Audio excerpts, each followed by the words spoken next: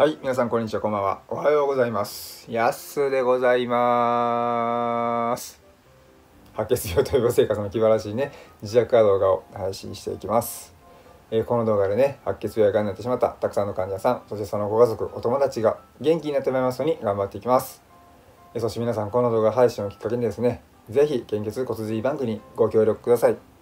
皆様の血液が必要です。日本全国、世界中で YouTube を見ている皆様、どうぞよろしくお願いいたします。はい。えー、最近僕はですね、血液疾患の中でもね、血栓についてね、あの、お話ししてますけどもね、それはまだね、冬場やったからなんですよ。あの冬場というのはですね、心筋梗塞やね、脳梗塞などね、血栓症を発症する人がね、あの増える時期なんです。なのでね、まあ、もうすぐね、春が来て暖かくなりますけどもね、まあ、皆さんのね、体を大切にしてほしいのでね、今日もま簡単にね、お話ししていきます。血栓というのはですね血管の中の血液が何らかの原因であの固まってできる血の塊のことです。え本来ね固まることのない血液がね血管の中をねスムーズに流れているのはですね血液を固まらせるための凝固という性質と溶かすための専用という性質のバランスが保たれているからなんですよ。ところがね血管が傷ついたりとかね破れたりしてねその出血が起こるとですね止血のために凝固の性質が働きます。すると傷ついた血管を線で塞ぐように血の塊ができることから血栓と呼ばれます。そんな血栓についてね、とあるドイツのね、病理学者がね、血栓ができる背景としてね、3つの要因を挙げてます。1つ目がですね、血管壁のね、最も内側で血液に接している血管内膜の状態の変化。で2つ目がですね、血液の成分の変化。そして3つ目が、え、血流の変化です。例えばね、動脈硬化はですね、血管内膜のね、変化の一つで、え、血液の成分の変化にはですね、水分不足による脱水が含まれてます。血流の変化というのはですね、血液の流れが滞ったり、乱れたりすることが影響します。でそれによって何らかの原因によって血栓ができて、その血栓がね、血管を詰まらせるということによってね、生じる疾患のことをね、そうして血栓症と呼びます。この血栓症っていうのはね、大きく3つのタイプに分けることができます。あ、あのね、先ほどの3つはね、血栓になる要因なんですけども、今からお話しするのはね、えー、えー、とね、血栓症のタイプのことです。えー、1つ目がですね、生活習慣病を背景にした血栓症。2つ目がですね60代以降の高齢で起こりやすくなる血栓症。で3つ目がですね病的な背景や年齢などに関係なく環境次第で誰にでも起こりうる血栓症です。で1つ目のね生活習慣病を背景にした血栓症というのはですね動脈硬化、まあ、アテローム性動脈硬化によってですね引き起こされます。あのアテロームという言葉はねあの先日にねあの血栓のお話をした時の動画でもですねできてるんですけども。覚えていらっしゃいますでしょうかね。高血圧やねその高血糖脂質異常症などのね生活習慣病がある方っていうのはですね血管のね内膜を覆っている内皮細胞にですねコレステロールなどのねあの脂肪細胞が溜まりやすくなってあのね熟熟したおかゆ状の、えー、熟種アテロームっていうのがね、作られるんですよ。で、このね、熟熟してるアテロームがですね、膨らんだ状態を、まあ、プラークと呼ぶんですけどもね、その何らかのきっかけでこのプラールが破れてしまうと、プラークの成分をね、異物とみなしてね、あの、防護のために、凝固の作用が働いて、それによってこいつが血栓が作られてしまって、えー、血管など内腔が塞がれると、えー、血流がね、途絶えてしまってね、もう末端のね、組織にね、酸素や栄養がね、送られなくなって、壊死を起こします。これがいわゆるね、高速と呼ばれる状態なんですけどね、心臓に血液を送る冠状動脈でね、起こるとね、心筋梗塞となってですね、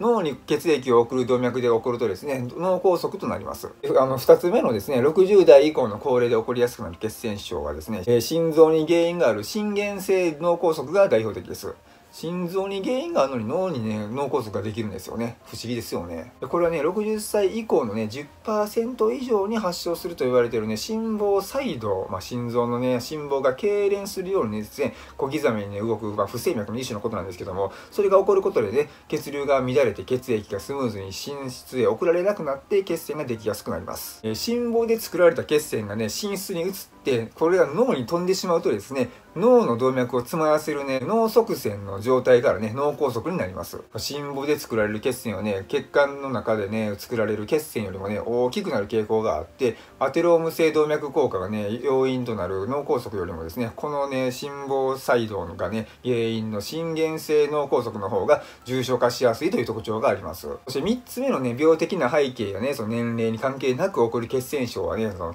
静脈系にね、起こりやすいと言われていて、まあ、例えばのロングフライト症候群、あの、エコノミー症候群がね、挙げられますけどもね、そのロングフライト症候群はですね、足のね、あの、深部静脈、あ筋肉より内側にあるような太い血管があるんですけども、そこに血栓ができる深部静脈血栓症と、その血栓が肺に飛んで、えー、動脈を塞ぐ肺側栓症を合わせ持った病態のことなんです。ね、同じ体勢のままじーっとして動かなかったりとか、あの、水分がね、不足して血液がね、粘り気のある状態になったりすることでね、あの、足の血流がね、悪化して、深部静脈にね、血栓ができて、それが肺に飛んで、肺側線から肺梗塞を引き起こします。これはね、別にこう狭い空間でね、長時間座りっぱなしになるような時だけではなくてですね、あのね、腹腔鏡下手術っていうのをね、受けた後にもでもね、あの、起こることがあるんですよ。そのね、腹腔鏡下手術というのはですね、大きくあの、お腹を切り開かずに、あのね、腹腔鏡と呼ばれるね、電子カメラを使ってですね、お腹の中の様子をね、モニター画面に映し出して、あの3ミリとから、まあ、10ミリ程度のね、まあ、いくつかの小さな穴をね、あのたくさん開けてですね、お腹に、の中に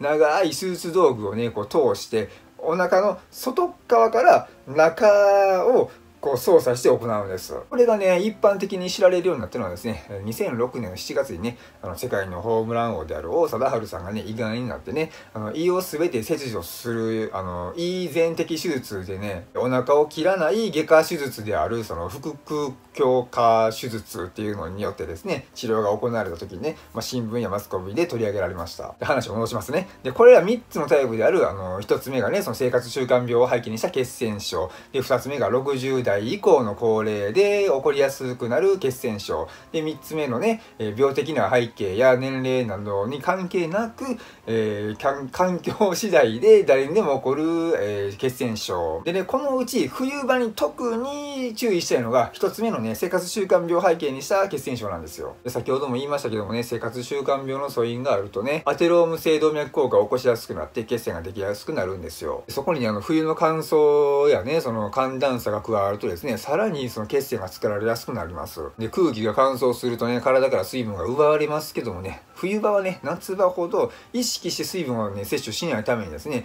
脱水傾向に陥りやすくなります。でそうすると血液が粘り気のある状態になってしまうんですよ。でまたね気温が下がるとね体温を維持するためにね血管がキュッと収縮してね細くなって血圧が上がってしまいます。逆にねその寒い場所から暖かい場所へ移動した時などはですね細くなっていたキュッとね細くなっていた血管がですねふわっと緩んで広がって血圧がね急降下することもあります。でね冬場のお風呂に入る時にねヒートショックと呼ばれる現象がありますけどもねそれはこのキュッと細く縮こまった血管が急にふわっと緩くなって広がった時にこれが起こるんですよ。つまりですね生活習慣病によるねアテローム性動脈硬化というね血管内膜の変化に加えてですね水分不足による血液成分の変化、えー、そしてね寒暖差によるその血流の変化とね血栓ができるというねその3つの要因が全て揃うことになるんですよ。そしてね血栓を作るのを防ぐためにはですね生活習慣病を改善してね血栓を作らない工夫が必要です。でまずね生活習慣病を背景にしたね血栓症の予防ではですね肥満や高血圧糖尿病脂質異常症などをね改善することが重要です。ですでにね発症している人はね治療を行ってねリスクがある人っていうのはね適度な運動や栄養バランスの取れたね食事などを心がけてください。で高齢で起こりやすくなる血栓症の予防ではですね